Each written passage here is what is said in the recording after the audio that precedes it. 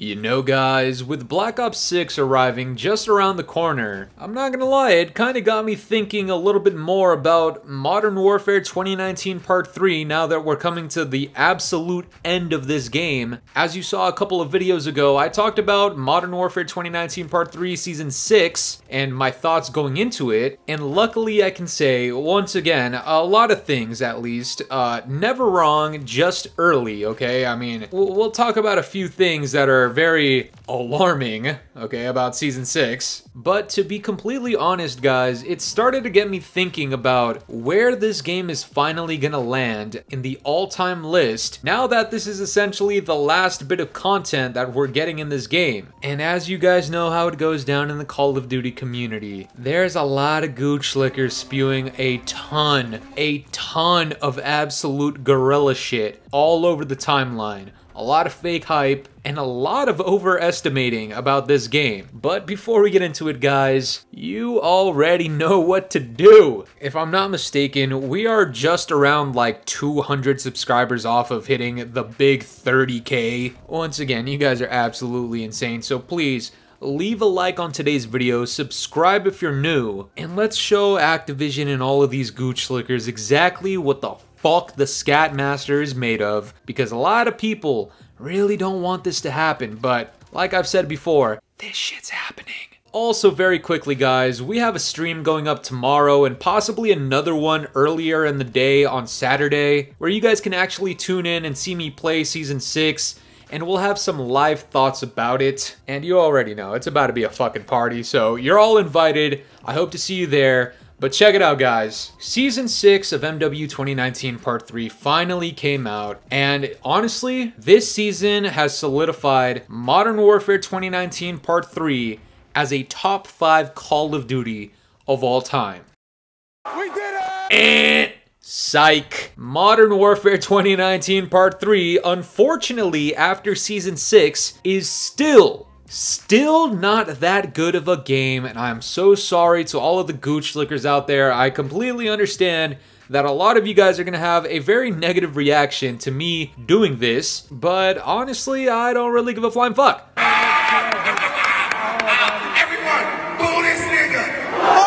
Season 6, admittedly, is filled with a lot of insane concepts, a lot of crossovers that normally I would be against, but I kind of have a soft spot for the horror genre, and this Michael Myers thing, in my opinion, is actually pretty cool. Except for the fact that if you buy Black Cell, the only difference you get in Michael Myers is that he goes from wearing gray to, for an extra 30 fucking dollars, he's wearing blue. Okay, guys, this is not a troll. This is actually legit. The man becomes a slightly different shade of gray that looks a little bit more blue when you pay 30 fucking dollars for Black Cell. And once again, guys, this is one of those things that is not necessarily Sledgehammer Games' fault, but instead it's on Activision because I would have no problem with Michael Myers wearing gray versus wearing blue if they were both just free earnables in the battle pass regularly without having to pay $30 for fucking Black Cell, okay? You guys know my thoughts on Black Cell. And also, like, charging $30 for this, absolutely shameless, completely and utterly disgusting. Activision, once again, double fuck you. Toe sucking dick bitch hoe. You booty booty bandit. Absolute goddamn losers. But check it out, guys. A lot of people have been gassing up Modern Warfare 2019 Part 3, especially for Season 6. I mean, we have people like Doug Dimmadome Warzone once again. The post-launch support for Modern Warfare 2019 Part 3 this year has been remarkably good. Shout out to Sledgehammer Games, you guys absolutely killed it on the live service content front this year. And even Charlie Gooch licking cock and ball slobbering, scrotum tugging, pube chewing Intel comes out and says, Call of Duty Modern Warfare 2019 Part 3 post-launch seasons delivered 18 new 6v6 maps, two remastered 6v6 maps, 18 6v6 map variants, two parkour maps, one war map, and one gunfight map. 42 total maps post-launch. Incredible post-launch season. And on the first glance, you might be thinking to yourself like, yo, Sledgehammer Games are the absolute goats. Well, unfortunately, guys, I disagree. And it's not even necessarily to like backstab Sledgehammer Games or like just talk absolute trash to them. Let, us just keep it a buck. Sledgehammer Games has had their fair share of absolute stinkers, okay? Just absolute putrid shit in their catalog. But if I am being fair, they did deliver quite a bit of post-launch content in this game. Something that we actually haven't seen all that much. Except, hold on, hold on, hold on. I still cannot give them credit for the launch of this game. Because when you launch your game with zero original maps, okay, let, us take a look at this, guys. If they gave us 18 new 6v6 maps, post-launch, Imagine if they had never given us all of these remastered maps at the launch of the game. I would assume that they would launch their game maybe with like 9 to 12 original 6v6 maps, right? Like every other single Call of Duty game, or at least they should be doing it like that, leaving only an extra 6 to 9 6v6 maps post-launch, if they had launched this game traditionally. But as you know, Sledgehammer Games was essentially thrown a freebie off of MW 2019 Part 2's foundation of a game. Now listen! And all they had to do was up the graphics on a bunch of maps that have already existed and then make some other maps on top of that. In the grand scheme of things, once you zoom out of this gooch licking picture, it is not as impressive as people are making it out to be. Now don't get me wrong, once again, on the design aspect of this game, decision making wise as well, Sledgehammer Games is a million times better than Infinity Ward. That is my true god honest opinion, and as of right now, it is still up in the air to say whether or not they're better than Treyarch. Because after what I saw in Black Ops 6's beta, that game, especially with some of the maps, are just. Oh god, guys, I do that shit like once a fucking week for videos. I need to stop doing that. Listen, this year, I will say Sledgehammer Games did actually deliver some pretty unique things. A lot of cool different game modes, a lot of events, a lot of concepts and ideas that I haven't seen before, and a lot of the customization and a lot of the free maps and free camos that we got in this game were actually not half bad. And so I will give Sledgehammer Games the credit on that aspect, but in the grand scheme of things, it's still not to the level that people are making it out to be. I mean, we still have shit like this going on. Doug Dimmadome Warzone tweets out, For once I wasn't tripping, to his own tweet saying Modern Warfare 3 is a top 5 Call of Duty multiplayer game. Hey guys, what's going on? God damn you absolutely fucking faded. This is the thing, right, guys? I don't want to be mean to Doug Dimmadome Warzone, but there's so many times where this man just becomes the biggest crotch-eating, gooch-licking moron, and he genuinely just becomes insufferable sometimes, even when I'm trying to be nice to him and be cordial to him. So right now, you know, Doug... let's tone it down a bit. Doug Dimmadome Warzone, you are incredibly wrong, and may God have mercy on your soul, but I suppose I can be nicer. Fuck you, Doug!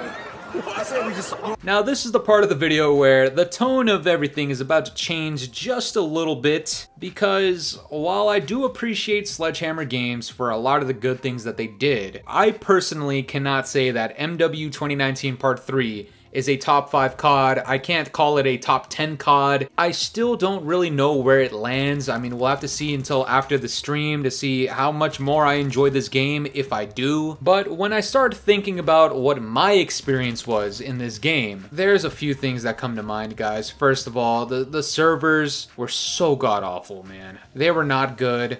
The packet burst was not good. The amount of hackers and cheaters, actual hackers and cheaters, okay? We're not just blacklisting the Scadmaster from playing the beta because I was being too critical of you. Please! Please! No! We're not doing shit like that. I am talking about actual hackers and cheaters. There was a lot in this game, okay? I have a lot of footage of actual hackers and actual cheaters and people lag switching, people crashing the servers on purpose, people with God mode, people with aimbot.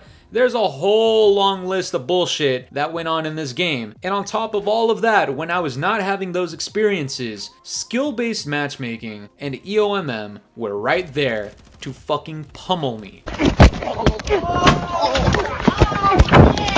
And this is what I mean. No matter how many MW2 original 2009 maps you remastered, no matter how many the classic favorites are back, like Terminal, like Rust, like Scrapyard and High Rise. No matter how many excellent maps you put in this game post-launch, no matter what concepts you have in here, no matter if it's Michael Myers or Ghostface or fucking Harriet Tubman, George Bush, whoever else you want to put in this game, you could put me in the fucking game. None of those things matter to me for how dog shit the matchmaking was and has been in this game. Now I understand what's really going on is that a lot of these gooch slickers have Call of Duty in some way, shape, or form up their own ass, okay? No matter what is happening in this game, no matter what diabolically dog shit thing is happening, there are some people who will simply not see the other side of Call of Duty and they refuse to see it. This is a problem because they want to ignore the existence of skill-based matchmaking, and once it finally gets exposed, then they want to shift the goalpost and talk about how it's not actually that bad, or it's supported by the data, and all this other bullshit. They want to bring up all of the crazy post-launch content that this game had without acknowledging that there was no actual content at the launch of this game that was actually made by Sledgehammer Games. They want to talk about how they're so excited for zombies and they only play COD for zombies, yet Zombies and MW 2019 Part 3 can literally eat the lint out of my ass crack. They want to talk about, oh, I only play these games for the campaign. Meanwhile, this is the least rated campaign of all goddamn time in Call of Duty. Just because these cock slobbering and drooling content creators are all over Twitter and YouTube talking about how crazy this game was post-launch doesn't make it a good COD. No! No! No! No! In the same breath, however, just because I am telling you that this game, in my opinion, fucking sucks, don't just believe what I say. Test it out for yourself. And if you're not some reverse boosting 2 boxing or just absolute dogshit player, skill-based matchmaking will literally make you tired of this goddamn game, no matter what skin you're rocking. Okay, you can have Black Cell if you want. You can spend $30 to out yourself as a fucking virgin. That's okay. Do what you gotta do, I understand. But when this game is failing and it's being hyped up by a bunch of false ass people on the platform, don't be surprised when you're playing the game and you get bored and you get burnt out because everything's stale. Guys, in the last like three months of this game, how many original maps have we actually received? Maybe one or two, I think? And I know, that's not even entirely Sledgehammer Games' fault, but I'm not just gonna call this game good because I appreciate Sledgehammer Games, okay?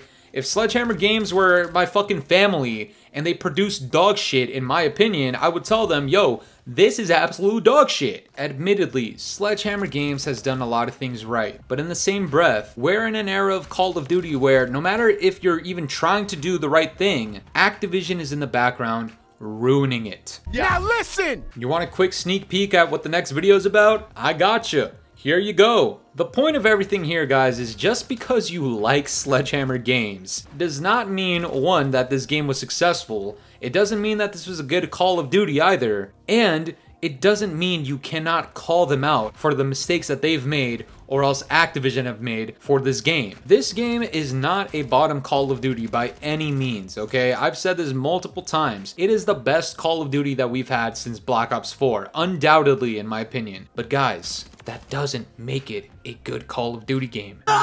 It doesn't make it a top 5. It doesn't make it a top 10. If you guys think I'm coping, these motherfuckers are like reverse coping. Whatever that's called, that's what they're doing. And it's putting out a false image of this game where, to be completely honest, I think their goal with this, and this might be a subconscious thing, I think what they're trying to do is hype up this game because they're assuming that next year's game is going to be even better than this game, making Black Ops 6 an even better game in the public perception before the games even come out.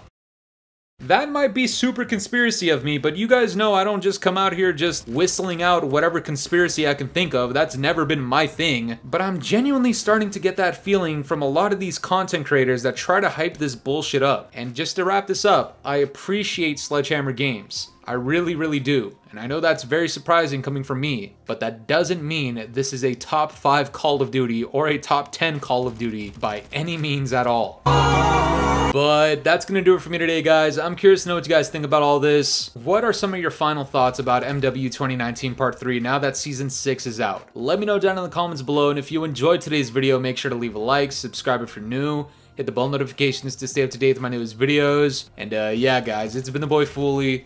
Have yourselves a good one. I'm out of here. Peace.